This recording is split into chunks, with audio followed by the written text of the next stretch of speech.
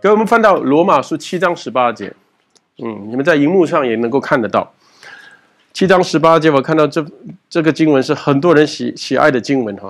啊，我们一起读好吗？七章十八节，保罗说：“我也知道，在我里头，就是我肉体之中没有良善，因为立志为善由得我，只是行出来由不得我。”各位，这是一个很大的奥秘啊！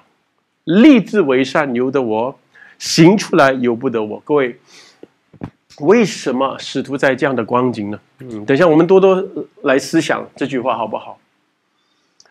各位，我们要明白，当人堕落之后，人都进到一种普遍性的。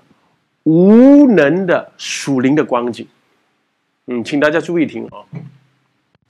当人犯罪离开神之后，他离开神的时候，同时也跟神的能力隔绝了。以前上帝造亚当的时候呢，他的整个的按着他的被造的原理。他的倾向是得着能力的，不是失去能力的。但是当人犯罪离开神之后，他的整个的倾向就落入不是得着能力，乃是失去能力的。他在生活当中，很多时候他在的年龄年长的时候呢，他就慢慢失去能力。所以一个年轻人好像很有活力，对不对？他慢慢。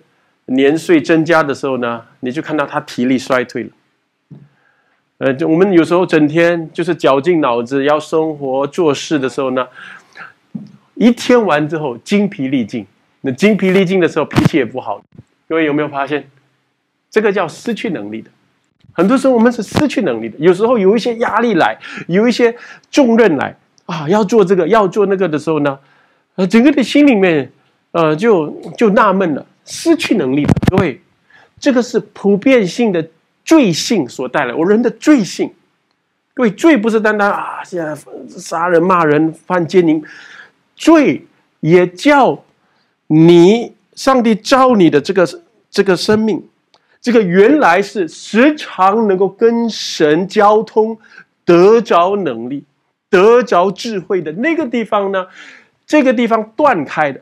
断开的结果呢？然后人自然人，我们讲自然，按照自然的原理来活，自然的方法来活的时候呢，他是嗯很容易不到一下子没有能力了，气馁了，放弃了，懒惰了，那然后没有智慧了，失去能力的。所以，我刚才说，每一个人面对的软弱。无能都有不一样，我没有一个人能够自夸说：“哎，我能做这个，我能做那个啊，我能积极，我能正面。”到了一个情况，你发现你没有办法正面了。你们有没有发现啊？所以，亲爱的弟兄姐妹，人性本身啊，告诉我们，我们的能力会用完的。但是，圣经说什么？但圣灵降临在你们身上。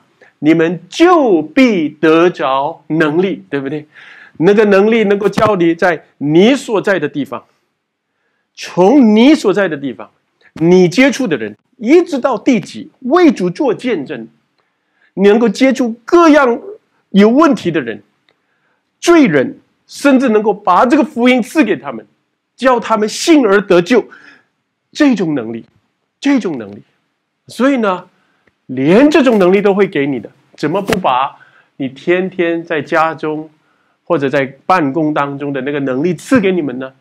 我亲爱的弟兄姐妹，所以我们先明白为什么，为什么这个世界的人夸耀哦，我们有聪明，我们有意志力，我们有方法，呃，在这个这个疫情的时候呢，我们要发明这个疫苗，我们夸耀这样的，我们能人定胜天。